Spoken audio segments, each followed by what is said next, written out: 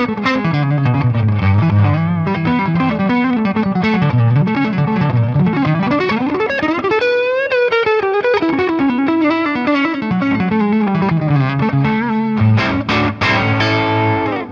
in what I was doing there, you notice there's a lot of chromatic stuff that I'll do, you know?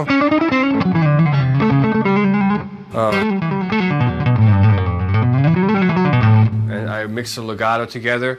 Um, it's kind of interesting for me as far as guitar playing.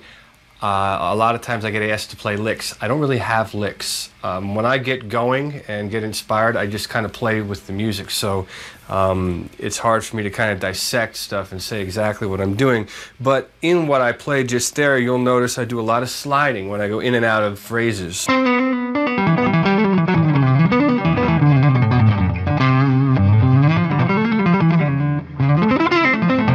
Right there.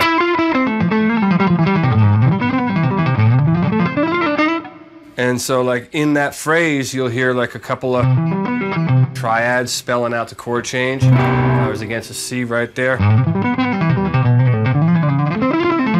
So in my mind, when I played that, the chord change went like that.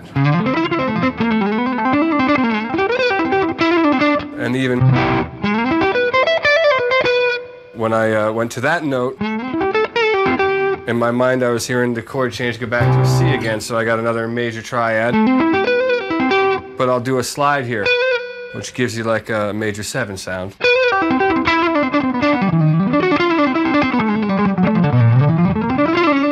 And then some chromatics, just some passing tones. The, um,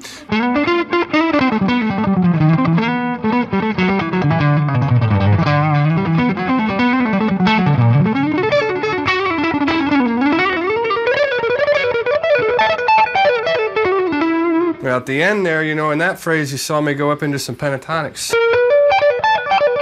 And I do that sort of um, pivoting type technique. I do that a lot. And it allows me to kind of be expressive playing quickly, but staying in a, in a convenient position for the shape of my hand.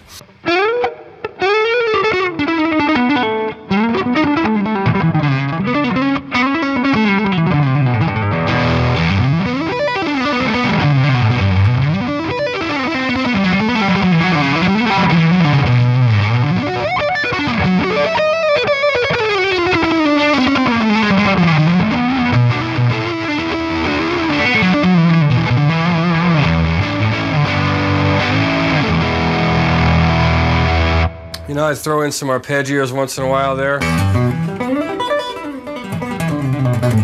know, E, e minor arpeggio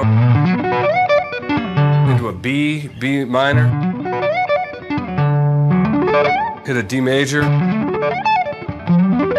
Up on a G.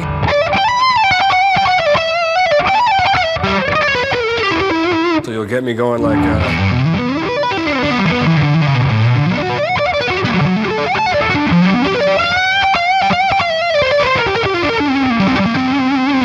probably not the cleanest execution in the world, but uh, there's a concept there, I suppose. Um, and that's kind of, you know, that's the kind of a lot of the tricks that I use when I play. Uh, you know, uh, not a lot of not a lot of thought goes into it or a lot of practice in these days. But um, you know, usually when I'm playing with the band and I get going, if I'm inspired, you know, those are the kinds of things that the tools that I have at my disposal uh, in order to play the notes that I'm hearing mentally in my head. So hopefully that's a little bit of a helpful, quick uh, guitar lesson on how I play.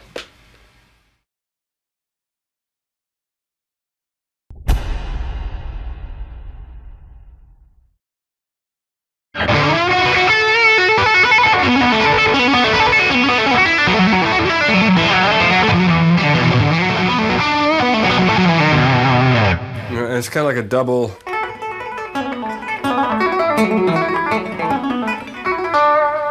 Two taps, go to the next string and do two more.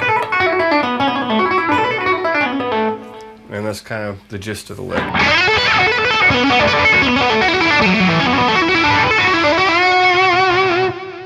And there you have a little bit of Richie uh, tapping, like the old days.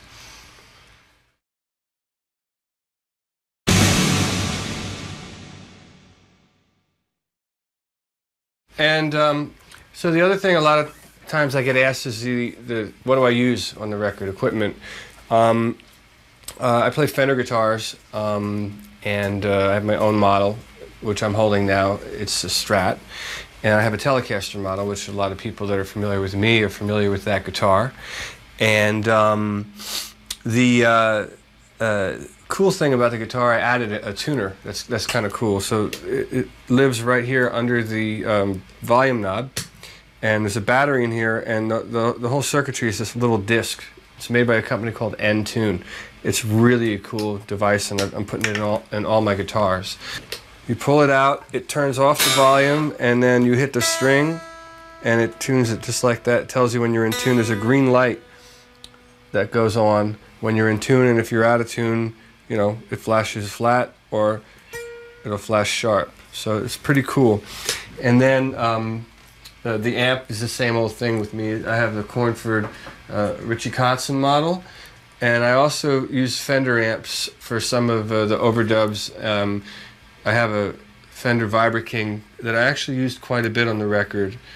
And um, it sounds really cool when you crank up the volume. It gets a really kind of gnarly distortion and like you can hear it in the beginning of You Got Me and your entertainer are the rhythm is both through that Vibra King. It just gets a real unique distortion. There's three tens in there, and uh, you know it's it's a pretty cool amp. another hand wired type situation. So those are the amps, and then I have an effect pedal that's really cool that I use live uh, all the time, and it's this thing right here.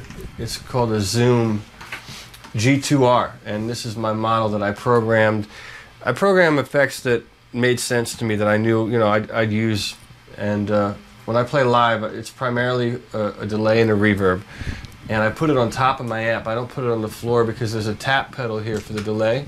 So I can just go up there and tap the setting that I want for the tempo of the song, and then I leave it alone.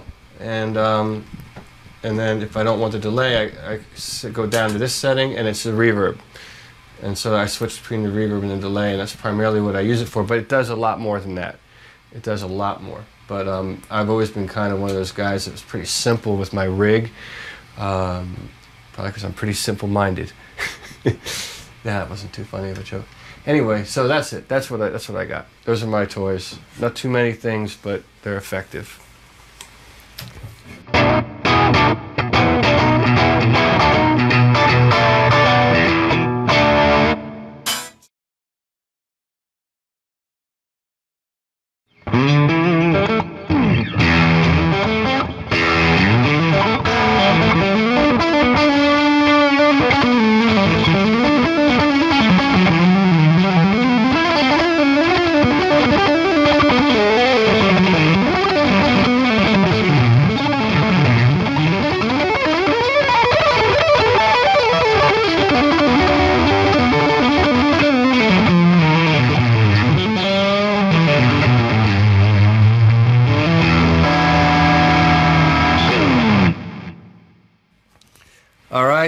There you have it, and that's my young guitar DVD guitar lesson for my new record peace sign.